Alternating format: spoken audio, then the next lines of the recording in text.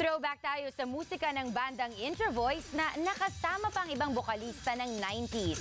At alam niyo bang maging anak ng lead singers ito na sina Jonathan Buencamino at Paco Arispacochaga, pinasok na rin ang music scene. Mula Los Angeles, California, nagpapatrol si Yong Chavez. Sa kanilang concert kumakailan sa Amerika, pinatunayan ng bandang Intro Voice na wala pa rin kupas ang kanilang musika.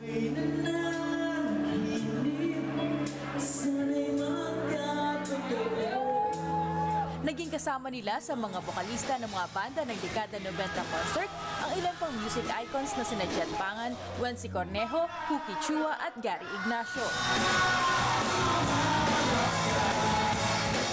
Nag-iba man ang ilang miyembro, matatag pa rin ang samahan ng founders ng Intro Voice, ang lead vocalist na si Jonathan Juan Camino at drummer na si Paco Arespacochaga. Sumusunod sa kanilang yapak ang kanilang mga anak. Ang 13-year-old na anak ni Jonathan ang nag-drum ng kinanta ni Wency Cornejo ang next in line sa concert.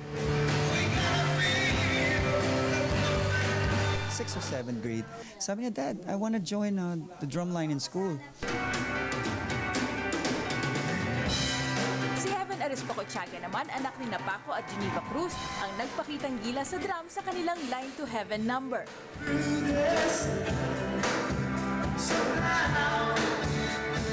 When he was a baby, it was more of like heads or tails. So Geneva, is, if you're watching, you lose.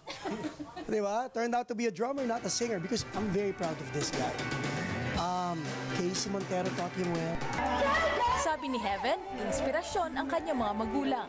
Not intimidating at all. I like to. I'm a, I'm a competitive guy. I'm into sports, and he's a competitive guy, so we like to compete.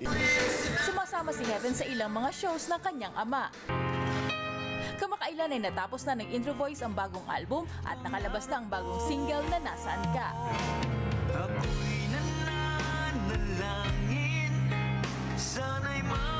Yong Chavez, ABS-CBN News, Los Angeles, California.